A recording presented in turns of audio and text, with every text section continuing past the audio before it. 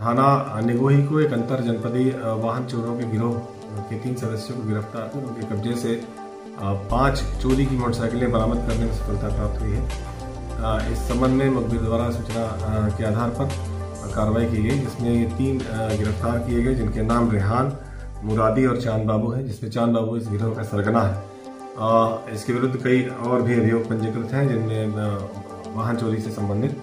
और ये दोनों ही ये रेहान और चाँद बाबू जनपद शाहजहाँपुर के हैं, जबकि मुरादी जनपद बरेली का रहने वाला है।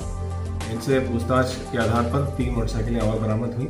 कुल मिलाकर पाँच मोटरसाइकिलों की बरामदगी हुई है और भी तथ्य इसमें प्रकाश में आए हैं, जिनके आधार पर अग्रिम कार्रवाई की जाएगी।